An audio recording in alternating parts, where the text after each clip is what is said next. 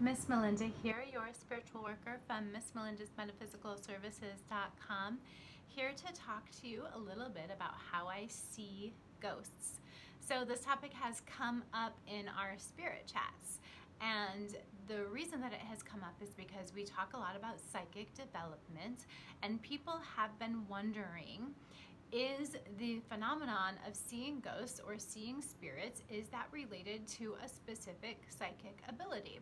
So in my experience and from my perspective this ability or this phenomena is associated both with clairvoyance as well as with mediumship.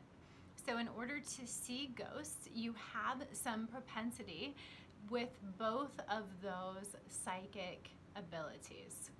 And with clairvoyance, usually people are under the impression that when you're able to see things such as a ghost, that you will see them as clear as you see a person in front of you or as clear as you see the room around you. But typically when you see ghosts or you see energy or you see this kind of phenomena associated with the world behind, beyond the veil or the unseen world, um, it's not so clear. It's not as crisp and as solid as another human would be, right? So the way that I see ghosts or spirits, I prefer to call them spirits, um, is like a form of light. It's a light being. So what I'm seeing is their energy. So it looks like a light or it looks like a cloud, sort of um, well formed. It will be in the form of a person or in the form of a being and it will move more like a being or a person would move. So this is something formed kind of like a cloud, um, looks light, has some light in it or is made of light and it will move the way that a person or a being or an entity will move rather than um, the way that a cloud or the, the way that a light ray would move. It looks semi-solid, meaning that you can see that it has three-dimensional shape.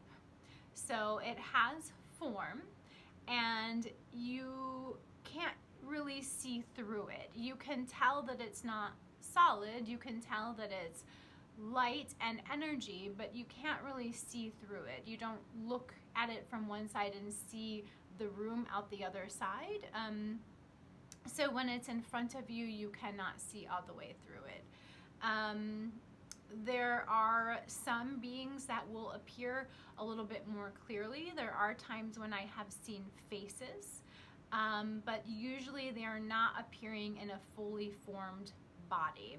Now, this also has something to do with how developed the spirit is or how evolved the spirit is. So sometimes um, some spirits have the ability to fully manifest themselves, whereas others do not. So it depends on the spiritual evolution of the spirit itself, like what it has learned to do or what it has evolved to do thus far, as well as the clairvoyance of the individual and the mediumship of the individual. So some people may see spirits um, almost fully formed, if not fully formed, and some people may not, and it depends on all of these variables uh, according to how you see these things depends upon all of these different variables, both the abilities of the spirit as well as the strength of the clairvoyance of the individual, as well as the strength of the mediumship of the individual. So there may be people that have such strong clairvoyance or such strong mediumship skills that they can see or do frequently see fully formed spirits when those spirits are able to present themselves as fully formed. For me, the way that it works for me is they're typical, typically like a cloudy light form that moves like a human, that is mostly solid and that also has a, a, feeling and an energy associated with it as well. So there are other senses that I'm also using that let me know when this is a spirit. It's very obvious. Um, there have been times when I've seen faces and there have been times when I've seen people almost fully formed but not quite and at those times it still seems as if they're mostly made of light or mostly cloudy material. It's like you'll just see some outlines of their body and maybe some outlines of their clothes or a few features, but it won't be completely formed the way that another person in front of me would be. So I hope that answers your question about how I see spirits as well as about how these gifts work in order to allow you to see spirits. And I hope you enjoy the video and I hope that you stay blessed.